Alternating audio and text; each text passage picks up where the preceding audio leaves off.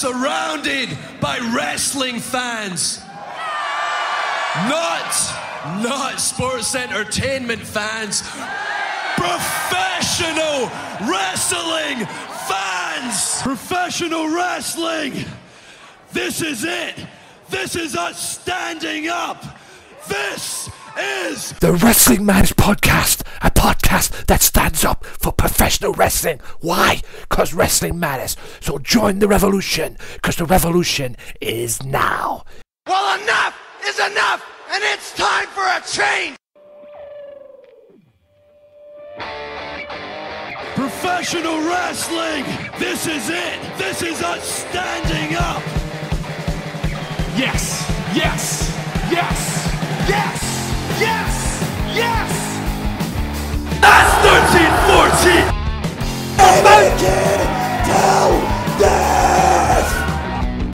Dina, I am the best in the world. Cause that's the bottom line. Cause Stone Cold Simpson. Why, hello, ladies and gentlemen, boys and girls, children of all ages, and whoever else is listening to this. Welcome, welcome, welcome all to another installment of the Wrestling Matters Podcast. I am your host and creator of this podcast, the one and only, that H that E to the A to the D. You know me by now. Anthony Walker at your service for another episode. Now, hope you're all well in what it is you're doing, or whatever it is you are at. Hope is all is good. Hope there's nothing bad or bad luck coming your way. I kind of had some bad luck this week. Anyway, before I get to that, I'll be talking Raw. A very intense Raw. Featuring the best segment in the history of WWE in a while SmackDown, Impact Wrestling, NXT, and of course, Ring of Honor. I'll be talking about them very later on in the podcast. Now, I have a bit of an apology to make. I don't want to do this right now as well. I've done it on other things as well, and I've done it on the Progress Wrestling podcast that I eventually got up last week, so I will do it here. My deepest apologies to everybody as far as the Progress Wrestling podcast goes. You know, you might enjoy it, I don't know. But uh, July 21st, I had a bit of a trouble. Yeah. Hard drive conked out on my laptop that I had. Yeah. It sucks, I know. I know what you're thinking, it sucks. But the last time, I admit, the last time I had my hard drive conk out on me, I fucked up because I had a lot of stuff on there, you know. It's very difficult to back up files. I had nothing to back up my files on and whatever, whatever. I'm still getting used to that part. Hopefully, I've now got used to it. But I had nothing to back it up on. There was nothing there, you know. And I fucked that up. I'll admit that. But I did not fuck this one up.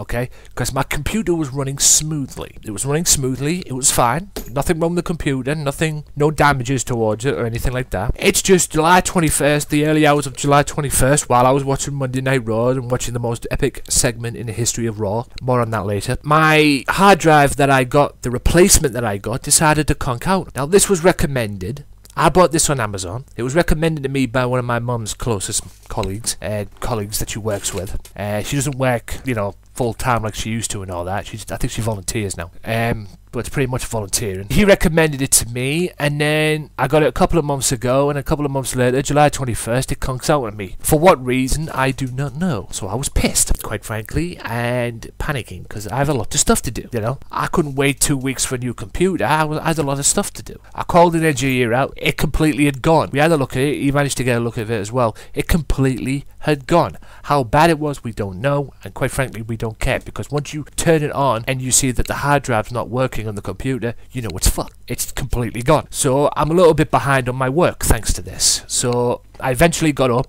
I eventually got the podcast up and running. The the Progress Wrestling podcast up and running, and the ICW podcast with Shug's Host Party. By the way, hope you enjoyed the uh, Shug's Host Party 2 which was in which was on yesterday, uh, Sunday night, July 26th, and I'll be reviewing that in a future ICW podcast. Stay tuned. But yeah, it sucks, and usually around this time.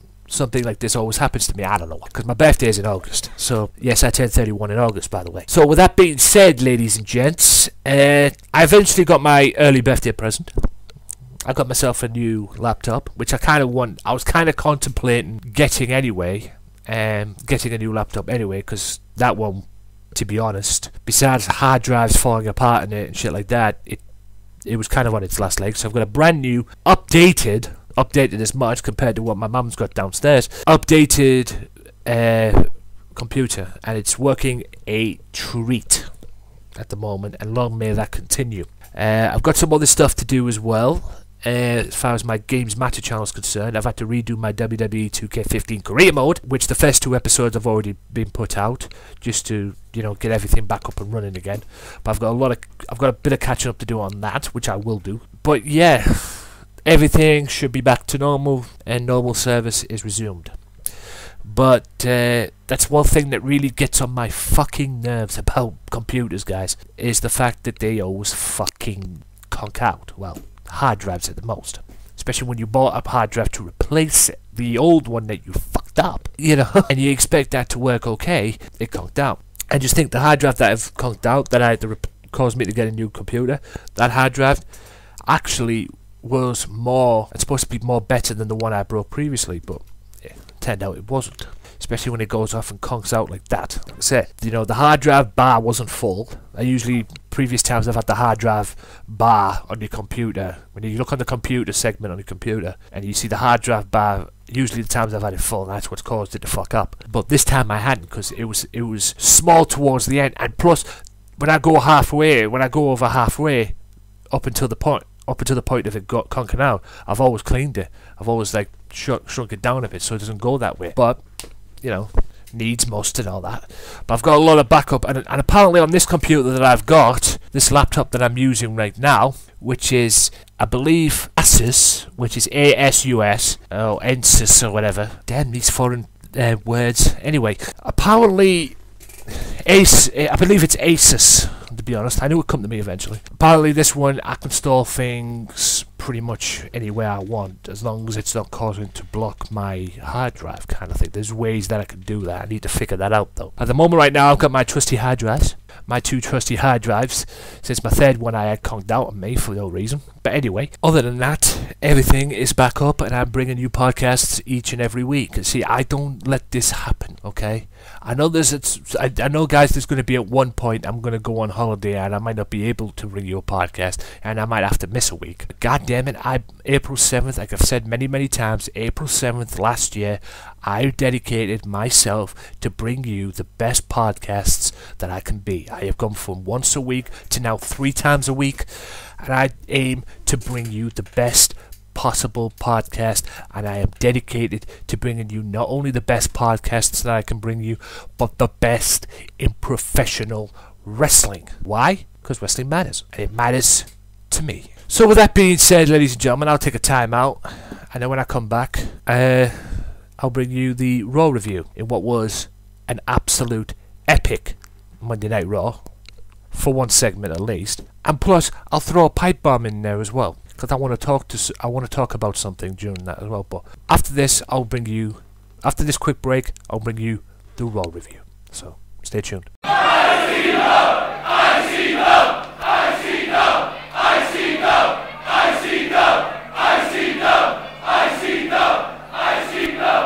sure to tune in every single Tuesday now for the Wrestling Matters Podcast Extra, where I'll be hosting a podcast on one promotion and one promotion only. ICW, Insane Championship Wrestling, the hottest promotion in Scotland. Well, I'll be reviewing their shows. Oh my god! Talking ICW, That's 1314! and who knows, maybe getting some guests on.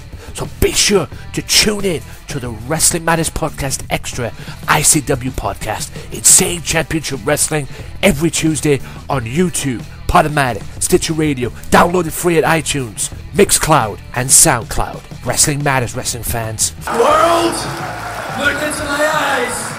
When you see me on a show, when you see these fans, you know you've got the best in the damn world.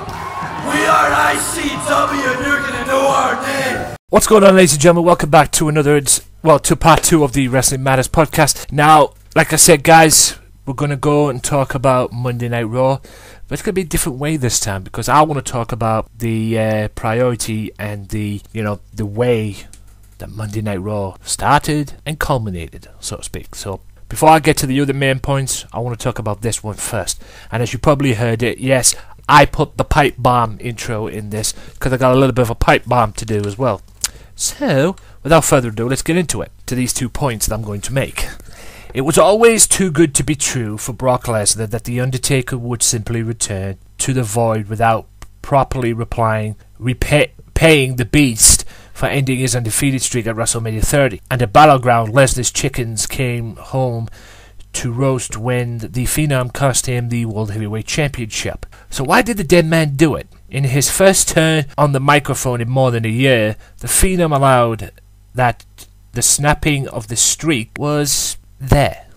But with Paul Heyman's relentless gloating and disrespect of Undertaker's quarter century life's work, the last outlaw rode again to cost the Conqueror his only holy grail. That set himself and the Beast 469 days after the end of the streak on a collision course that ha- he promised would end with Lesnar, as all men do, resting in peace. And that will take place at SummerSlam. And all of that, ladies and gentlemen, led to what happened. Now, I'll come back to the others, the other segments, and talk about them in a wee bit. But like I said, I put a pipe bomb intro at the beginning of this because I want to talk about what happened during this brawl. Now, with Brock Lesnar barred from the building, or so we thought, and Paul Heyman standing in the middle of the ring, it was all about certainty that Undertaker would target the Advocate in attempt to send a message to the one in 22 and 1. It turns out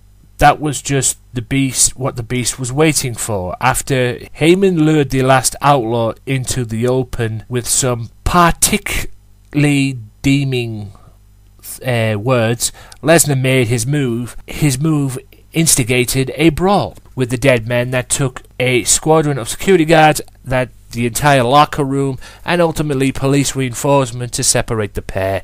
And it also continued backstage as well and then WWE confirmed that these two went into custody for, starting the fight. The Undertaker, all charges were dropped, and he was ultimately released. All charges were dropped. This is just about. This is just something to stop the the uh, the SummerSlam main event because these two will meet at SummerSlam in the main event. And what got me about that brawl was it was probably the best thing on Raw in a while. Dare I say the best Raw segment ever? You know what got me about that, right? Was the way it was handled. It was so well done. A straight up brawl, street fight, if you will. Boom, boom, you know, statements made and shit like that. They brawled all around, and every time the the uh, wrestlers and the and the uh, security men tried to separate them, they kept on getting back at each other, and you could hear them. You could hear it was personal. I'm gonna kill you. You're gonna have to, and that made me believe that these two are going to kick the living, beat the living crap out of each other at SummerSlam. Now, I have to admit, I have my thoughts about this, but if on Raw, if that was any indication of what's going to take place at SummerSlam, then I'm all for this match at SummerSlam. I've got no problem with it. Now, I will say this though: the pipe bomb during that melee. As Brock came out, you heard a certain Michael Cole say, I'm out of here. And the other two followed, which were Byron Saxton and JBL. It's clear as day that WWE has three pussies on the friggin' announce table. I mean, not that JBL and Michael Cole needed any help, but Byron Saxton, Byron Saxton's only there because Booker T's out doing tough enough, and that's why Jimmy Uso's on SmackDown. I believe. I might. I'm. Well, that and the fact that Jey Uso's out injured, so you have to. They'll have to give him something to do. I mean.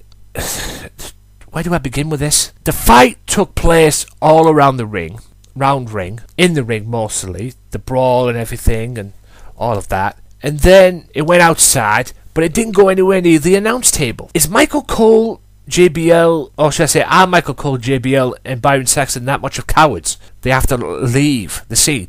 Yes, it was chaotic. Yes, it was probably an unsafe working environment. But really? I mean, if I was Triple H, I would have given them three a right bollocking backstage. I mean, because the fight never took place anywhere near the announce table. It went from if if it went to the announce table, then all right, you know. If it was going to go to the announce table, hell, I'd be out there. I wouldn't get in the middle of these two. If they were bra- if they were brawling, I wouldn't get in the middle of them. But for God, for goodness sake, man, the more stupidity these three announce the announce team does, it's, it's you know it's ridiculous. And they just make it. I mean, not that Michael Cole needs any help in looking stupid, but it, you know, it's it made them three look complete idiots than they already were. I mean, JBL is probably the worst announcer around at the moment. That's saying something. I mean, he's not well liked as an announcer. I mean, back in the day in 2006, he was good, but I don't know what the fuck he did during that period of time. But anyway, Michael Cole. I don't think anyone likes him, to be honest with you. And Byron Saxton should be on NXT, but the, like I said, at the end of the day, he's only there on Raw, probably for the summer, because or at least until Booker T's finished with Tough Enough. the stupid things that announcers do.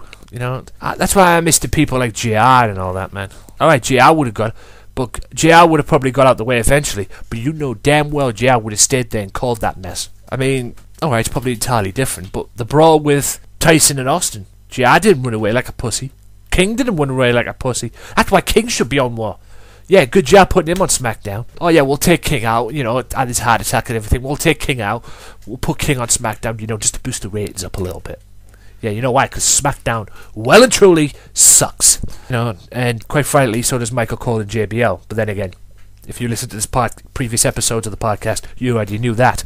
Anywho, now that's over. I'll talk about the other matches that were on Raw, to the best that I can at least. I'll mention the few and, and all. I'll mention one match as well, which was uh, fed off of what happened on Raw on a uh, battleground since the Intercontinental Championship wasn't defended because of Ryback's injury. Miz knocked out uh, Big Show knocked out Miz on there, and he did exactly the same. He squashed him on Raw. Now, thanks to the uh, New Day, Los Matadores defeated the tag team champions, and also Nikki Be- Brie Bella's revenge again, revenge uh, seeking against uh, Charlotte Flair, rather, excuse me, did not come to fruition because she again tapped out to the figure eight lock. And after all of that, bear with me, we had Roman Reigns defeat Luke Harper for the reunited uh, Wyatt family. Sorry, I mean I could see this being. Like I said to you on the street on the video that I did for the Wrestling Madness channel over the weekend, this is going to be a tag team match at SummerSlam. Unless they've, unless someone could convince me who's going to join the Wyatt family, because the aim is Sting is supposed to be coming to SummerSlam. He's supposed to be in the six-man tag between D with him, Dean Ambrose, Roman Reigns against the Wyatt family. We all know Eric Rowan's injured. Okay, who are they going to fit in? I've heard Bo Dallas, but that's a different issue because you know unless they change his gimmick, you know the whole Bo Dallas thing ain't going to work. But I mean, Jesus Christ Almighty, you know it really really is. I think that, that if I was them until they knew for a fact that both, like I said on the stream, until they knew for a fact that Eric Rowan was going to be available for SummerSlam, they'd be best off doing this six man tag at Survivor Series. That's the only way they could do it. At the moment, right now, Roman Reigns, Dean Ambrose would be best off in a tag match against Luke Harper and uh, Bray Wyatt at SummerSlam. That's just my opinion. I hope I'm wrong. Like I said on the street, like I said on the video that I made for the uh, the part for the uh, Wrestling Madness channel. By the way, check out the Wrestling Madness channel and check out that video. It'll all be in the description below. Whether you're seeing this on YouTube, SoundCloud, or even OSW TV as well. Check it out. So I mean, it's confusing where what direction that's going to go for me anyway. Now, US champion John Cena confronted the world heavyweight champion. Now, I don't know where the hell this is going. Thanks to the next big thing thing to the devil himself, Seth Rollins is still the world heavyweight champion. But John Cena wasn't buying the Architect's version of a victory tour out of Suplex City. As Rollins forced Lillian Garcia to belated announce, belatedly announce his continued tenure as title holder, the Cenation leader and the US champion made his presence known, laying down what amounted to a challenge for a fight. The Undisputed Future wasn't too interested, though. It's likely these two have butted heads for the last time just haven't butted heads for the last time just yet. Now, I don't know where this is going to go. You know, is it going to be, you know, Seth Rollins, John Cena for the WWE World Title, Survivor, uh, SummerSlam rather? I guess it has to be because Rollins is still the champion. You know, this match, this supposed match between Rollins versus Triple H that everybody was talking about doesn't seem to be going ahead now. There's rumours, there's talk of a babyface for Rollins. I'll tell you what, WWE needs to sort this out and sort it out soon. Uh, Team Bad, which was Sasha Banks and Naomi, defeat Paige and Becky Lynch. I think that's a better team than Naomi and Tamina, to be honest with you. That's just my opinion. And a six-man tag, which which ended miserably for Rusev. With six of the WWE's hardest hitting superstars in the ring at once, who would have thought a diva with a grudge Halls decided the fate of the Raw's main event slugfest. It wasn't an attitude adjustment, an RKO, or neutralizer that carried John Cena, Randy Orton, and Cesaro to victory over Kevin Owens, Rusev, and Sheamus but instead a shoe to the chest from Lana to Summer Rae. Before that, however, the fan favourites were reeling until A miscommunication between Sheamus and Owens led the Irishman to walk out, and Owens followed suit after kicking a kicking Rusev in the face. That left Bulgarian Brute all alone to fend off the Viper, but just as Rusev escaped the RKO, Lana arriving arrived looking for retribution against Rae, who slapped her earlier on in the night. First off came the shoot, then the ravishing Russian pounced, leaving Rusev dumbfounded. When the action resumed, Cena was waiting with an AA, Cesaro followed up with a swing, and finally a slingshot RKO for Mr. Rusev's troubles by the one and only Randy Orton, and Rusev got crushed. And that's how the main event ended. And Raw ended. So, I mean, like I say, what's next for this? I'd be interested to see. I mean, Raw. I'm guessing Raw now, up until Smack uh, SummerSlam at least, it's going to get interesting. The question is, how interesting? And that is the end of the Raw review, ladies and gentlemen. Now, I'll be taking a quick time out, and after this, I'll be back with, you know what, I'll be back with SmackDown review right after this, as well as NXT. Both of them this time. So, stay tuned. If you like the Wrestling Matters podcast, why not check out their Facebook page at facebook.com forward slash WM podcast and like the page and show your support to the podcast that stands up for professional wrestling, the Wrestling Matters podcast. Wrestling Matters, wrestling fans. Welcome back, ladies and gentlemen, to part three of the Wrestling Matters podcast. That's right.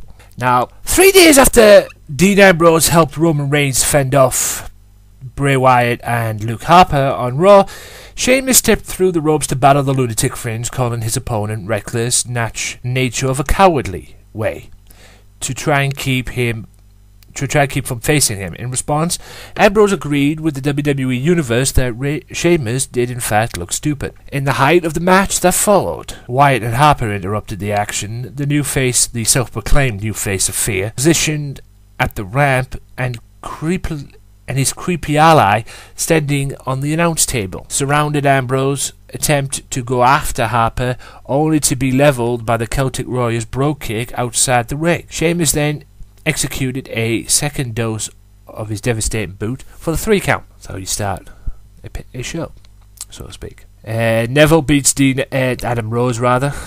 What's it, Dean Ambrose there? King Barrett addressed the WWE Universe. A re a King, King Barrett, emerged before his subjects, warning one and all that the most crowning moment is still yet to come. What could that be? Rusev defeats Kevin Owens by countout, not really much, and Owens eventually interrupted the uh, backstage match with uh, a backstage interview with Cesaro. The Divas revolution continued on SmackDown as Brie Bella and Nikki, the Bella twins, battled BAD, Naomi and Sasha. As disordered broke broad, uh, broke out rather outside the ring between Brie, Alicia, Sasha, and Tamina. Divas champion Nikki took down Naomi with a devastating rack attack. And the main event was Cesaro versus Seth Rollins. In the final moments of an absolutely tremendous SmackDown main event between Seth Rollins, Cesaro,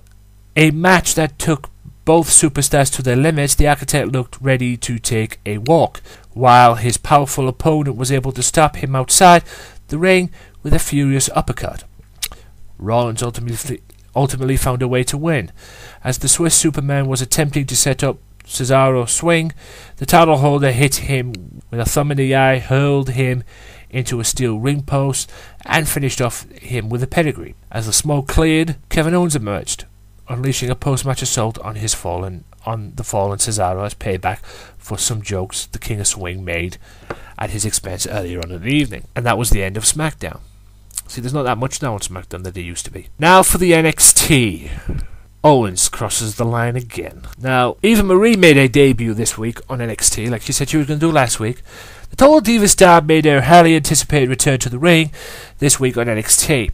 Eva Marie looked impressive, showing off agility, staggering strikes and mat prowess through Cassie stunned the reality TV star with a series of well placed kicks. Eva Marie emerged victorious in the end, picking up a win with a mood famous or made famous by a certain Brian Kendrick. Slice bread number two. That one's for you, Brian. Now, Baron Corbin defeats local competitor Doesn't take long, does it? Hits him with end of days. Samoa Joe defeats Michael Rawless, another newcomer. NXT newcomer tried to stand toe to toe with Samoa Joe. More fool him. But only drew the fury of the Samoan, sp- the submission specialist, the Samoan submission machine. Joe pummeled uh, Mike before getting the three count with a tremendous muscle buster. Bayley returned too and went one on one with Emma. At the start of the bout, Emma drew the eye, the eye of Bayley, luring the ch- cheerly diva into a trap that led her to, to taking control. When it looked like ba- as if Bayley was bouncing back, Emma targeted the injured hand, ramming it into the ring post and turnbuckles before wrenching away at the fingers. Despite the damage done to her hand, Bayley showed tremendous heart in fighting through the pain. Dana Brooke tried to swing the match back in Emma's favour, but was thrown out by the official. With the odds evened, Bayley earned a half-heart victory with a Bayley to belly suplex. And after the match, she wanted the women's title, which is held by, uh, which was held by Sasha Banks. But she knew she had to go through an obstacle to get there, and that one was Charlotte Flair. So Bayley and Charlotte coming soon, I guess. Also, guess the rumours were true. August 22nd, guys, international super, su- international superstar Thunder Liger will appear at the NXT Takeover in Brooklyn. So that's something to look forward to. I can't wait for that. You may have seen him in TNA, you may have seen him in the Ring of Honor as well, and plus other promotions all over. Well, he's coming to NXT, a new breed of indie wrestling. Fresh off earning the number one contendership for the Tag Team Championships, English and Gotch set out to prove why they're worthy of challenging Blake and Murphy for the tag titles. They faced much larger opposition, though, in the duo of Dawkins and Fulton. The Vaudevillains showed off their aggressive new attitude in the ring, not backing down despite the size disadvantage they faced. The manly ju- duo picked up the win after clocking Dawkins with the Whirling Dervish. Could the same fate await Blake and Murphy? Now, NXT champion and the contract signing for Brooklyn, because these two can have their rematch in Brooklyn August in August. Now, the tension in the re- in arena was was at a fever pitch as Balor and Owens arrived to put pen to paper on the contract for their championship rematch August 22nd in Brooklyn, coming face to face for the first time since their battle in Japan, in Tokyo. Owens said he was going to prove that the first encounter was a fluke, while the NXT champion seemed unfazed by the challenger's boosts. But once the names were on the contract, things turned sour, as Owens tossed the table in Balor, at Balor rather, and slammed his face and slammed his face into it when William Regal tried to control things. The Bruiser struck the NXT general manager with a big right hand. Owens tried to hit the NXT champion with a pop-up powerbomb, but Balor sent him retreating with a flying forearm and a dropkick. Through he was able to escape this time. Balor won't let Owens get away in Brooklyn though. That easy. And that's the end of the review there. And I'll be back with part three, guys, with TNA main points. So stay tuned.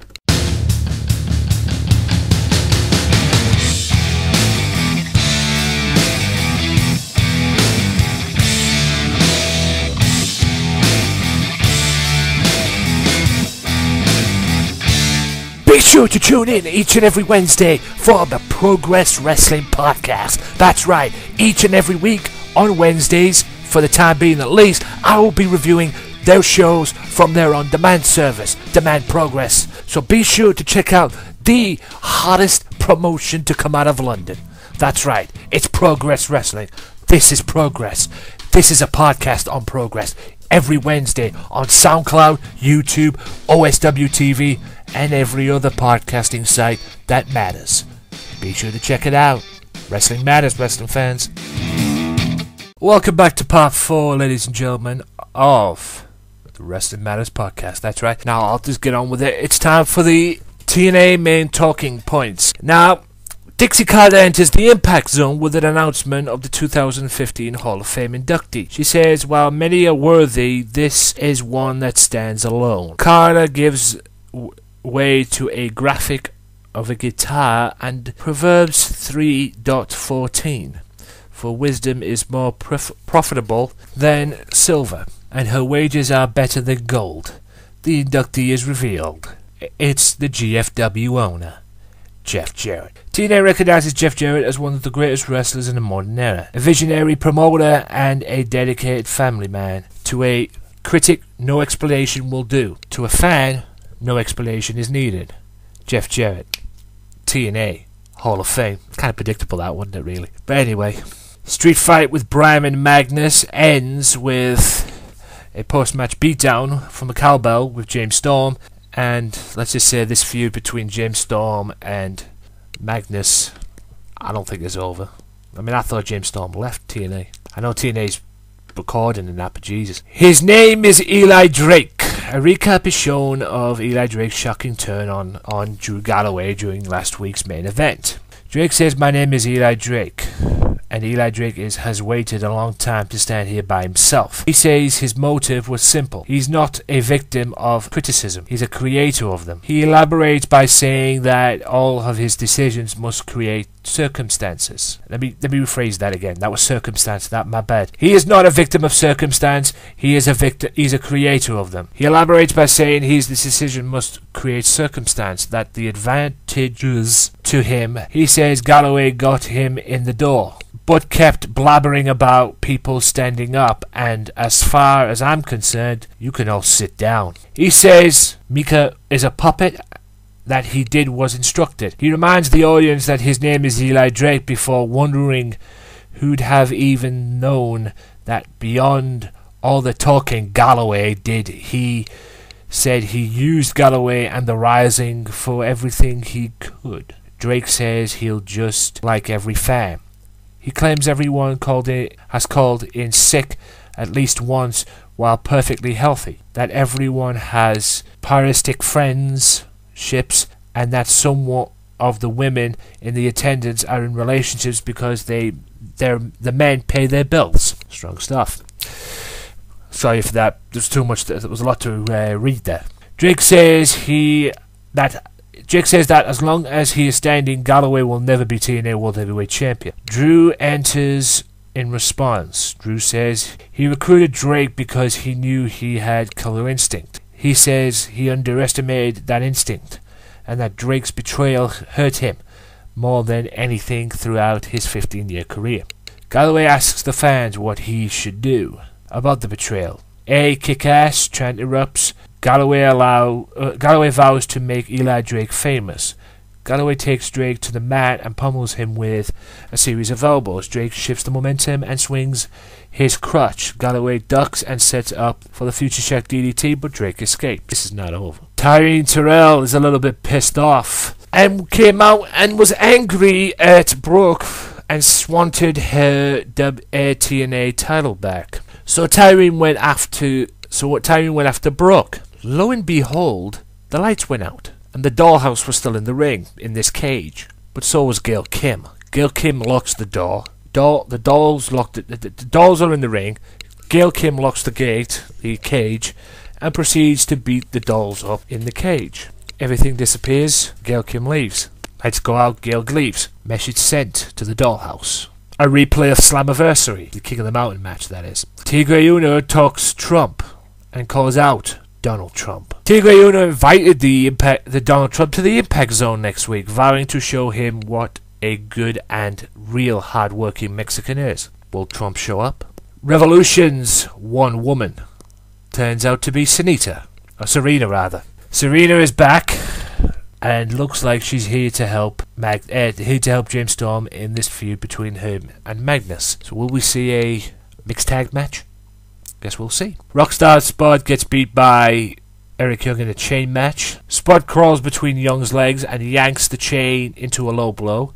Spud uses the chain to clothesline Young before returning the lashes. Spud climbs to the top of the turnbuckle only to see the referee shoved in his direction. Young pulls Spud off to the mat, delivers a power drive, and gets the win. And the main event was Bobby Roode and Matt Hardy in the number one contenders table match which saw Roode attempt a Roode bomb, but Hardy, Hardy counters by sending Roode flying over the top rope. Roode crashes through the table at ringside, and Matt becomes the number one contender for EC3's world title. Question is, Can he beat EC3? And that is the end of the TNA main talking points there, ladies and gentlemen. Quick little thing, lot to get through. And uh, with that being said, I'll be back after this with Ring of Honor's main talking points. A very short Ring of Honor this week for the 2000 episode, considering, well, the 200 episode rather, considering there was only one match. But I'll be back after this break to talk about it, so stay tuned. If you like the Wrestling Matters podcast, why not follow the Wrestling Matters podcast now on Twitter at WM Podcast for all professional wrestling news. Wrestling Matters, wrestling fans. Welcome back, everybody, to part five of the Wrestling Matters podcast. Now it's time for the Ring of Honor review. Now, nothing much went down on Ring of Honor except one match this week, and the match that went down was an eight-man, eight-person tag match. They basically showed the best of Ring of Honor. To be honest, it was showing the Addiction winning the tag team titles off Red Dragon, which was Chris Sabin's debut. They played a video of Scum uh, an, a cage match between Team Ring of Honor and Team Scum, which Kevin Steen won to kill his own creation, which, as we know, he was the founder of Scum, but then they broke up and he went out the group and they had a match which Steve Corino was a part of because he was a part of Scum and they killed Scum. They also had a look back at the top prospect tournament which Donovan Dijak won. They showed a match from Tag Wars involving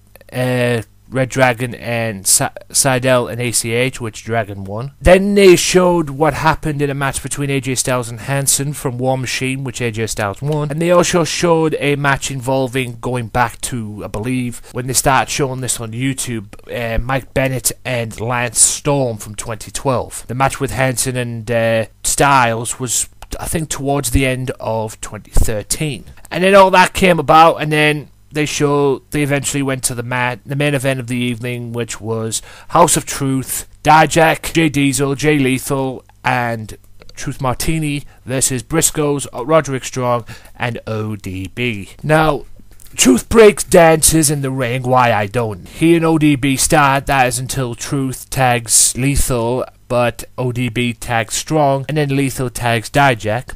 Dijak has a power advantage, quickness with Strong as he hits a drop kick, a leg drop kick that is. Strong teams, Strong's team look to isolate Dijak. Briscoe's double team drive Dijak. Mark hits an elbow off the second rope as ROH goes to break. Back from break, Dijak suplexes Mark Lethal on the attack that he gets tagged in. House of Truth look to isolate Mark Briscoe. Stomp gets Lethal a near fall. Elbow gets Dijak a near fall. Mark in trouble but fights back.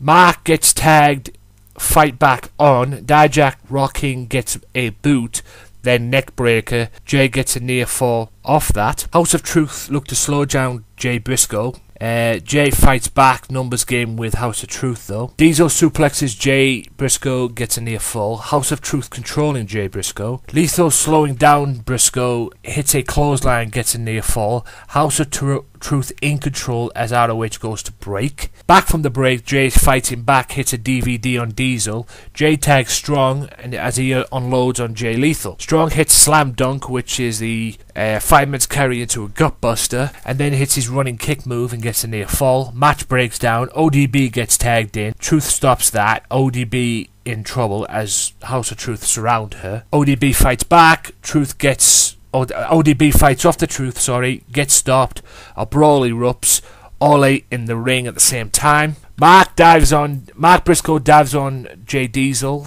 Jay Briscoe dives on Donovan Dijak, Lethal dives on Jay Briscoe. Strong hits a mid rope dropkick on the outside, and then Lethal onto Lethal, and then Truth rolls up ODB for near fall. ODB spits spits her drink in the face of Truth, rolls him up, and gets the win for the team. So yeah, it was a chaotic eight-man tag, but uh, a good eight man, eight person tag rather, and a good eight person tag though to end the 200th episode of Ring of Honor.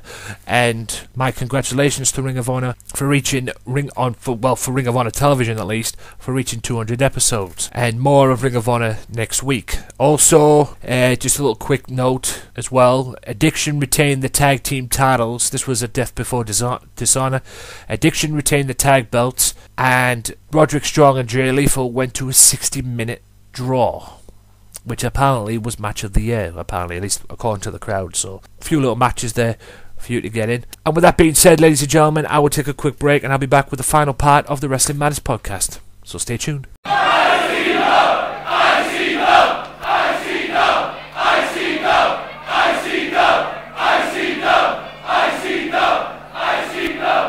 sure to tune in every single Tuesday now for the Wrestling Matters Podcast Extra, where I'll be hosting a podcast on one promotion and one promotion only. ICW Insane Championship Wrestling, the hottest promotion in Scotland. Well, I'll be reviewing their shows. Oh my god! Talking ICW. That's 13 14! and who knows, maybe getting some guests on. So be sure to tune in to the Wrestling Matters Podcast Extra ICW podcast, Insane Championship Wrestling, every Tuesday on YouTube, Podomatic, Stitcher Radio, downloaded free at iTunes, Mixcloud, and SoundCloud. Wrestling Matters, wrestling fans. World, look into my eyes. When you see me on a show, when you see these fans, you know you've got the best in the damn world. We are ICW and you're gonna know our name. If you like the Wrestling Matters podcast, why not check out their Facebook page at facebook.com forward slash WM podcast and like the page and show your support to the podcast that stands up for professional wrestling, the Wrestling Matters podcast. Wrestling Matters, wrestling fans. Welcome back, everyone, to the final part of the Wrestling Matters podcast. Now, before I go, I've got a few things that I want to promote and mention to you guys before I forget. Uh, be sure to check out the Wrestling Matters podcast affiliates. That's right. They are OSW TV. You can check them out on YouTube, on on a uh, Facebook rather at oh not Facebook, fucking hell, Twitter at OSW TV, and check out Billy Strachan, the voice of OSW TV at the voice of OSW. So be sure to check them out as well. Also be sure to check out our RFPW official on Twitter. The guy, uh, great guy, good lad. Check him out he's been helping me with my website as well, and he's helped helping there. I'm I'm this close to getting my website up and back up and running again, but as you well know, I've done a lot of, there's been a lot of things that have happened, so it's had to be on hold for the time being. Be sure to check out my boys at Sunday Segue, my guys, my partners in crime, my backup, if you will. Sunday Segue, Kenny and them, I love them to bits, and it's always nice to be on their show, even though they do sometimes bring me on at the last minute. But hey, at least I get on the show, and that's all that matters to me. Also, be sure to check out uh, at Irish Commodity on Twitter as well, Vicky O's. Be sure to check her out, show her some love. She's absolute sweetheart. And uh, yeah, she's a really nice girl, no doubt, and you will get to know her. And of course, she loves wrestling because she's a sedgehead. Be sure to check out at, at Tim Vicious, at Axel Mulligan as well. Two great guys. Uh, Darren Dyer, be sure to check his YouTube page out. I'm sure his YouTube page will be on there at some point, uh, on his Twitter page as well. Um, also, be sure to check out Offshoot Radio. That's right, my guys at Offshoot Radio. James Belmont, JX, JX2001 on Twitter. Yes, my my arch nemesis, especially when it comes to beat the clock. After what he did to me last time, Mr. TNA himself, the Professor Mike Rodriguez. Be sure to check him out. And the gorgeous Roxxie herself. That's right, that Roxxie girl on Twitter. Be sure to check all them out. And also at, Offshoot Radio as well for the show for any more information, news, and whatever as well. And check out the Altered Angle at the Altered Angle on Twitter. Pepper and Josh Dillon as well, two great guys, super cool guys. Hopefully, we get them back on again on the podcast in the future. Also, ladies and gentlemen, TWT Wrestling is coming to Middlesbrough. I'm trying to get in touch with them, but it's difficult at the moment. Um, but I will do my damnedest to get in touch and bring you the information that is needed. So until then, at the official TWT, facebook.com forward slash TWT Wrestling. Also, be sure to check out EPW in the coming weeks as well. They've got some shows coming up. One particular in Newcastle, which I don't understand, but hey, I don't really give a damn. But hey, they're coming to Newcastle. They're coming to other places as well. So be sure to check them out. Facebook.com forward slash EPW American Wrestling. I will promote the Twitter page, but I don't think he can even work a Twitter page, to be fair. But hey, but for more information, go to the Facebook page, facebook.com forward slash EPW American Wrestling. And with that being said, ladies and gentlemen, be sure to check out the ICW podcast and the Progress Wrestling podcast. Everything is back to normal now, and I'll be damned if it isn't. Thank you so much for understanding, and thank you so much for your continued support. Facebook.com forward slash WM podcast.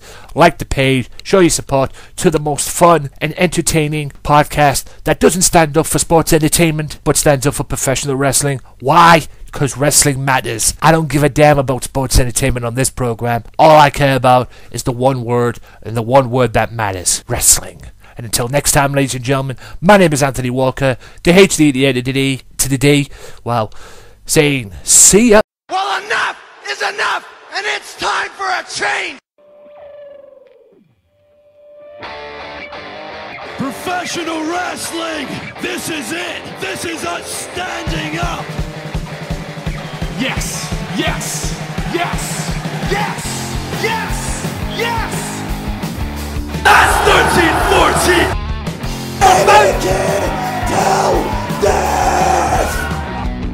Dina, I am the best in the world. Cause that's the bottom line.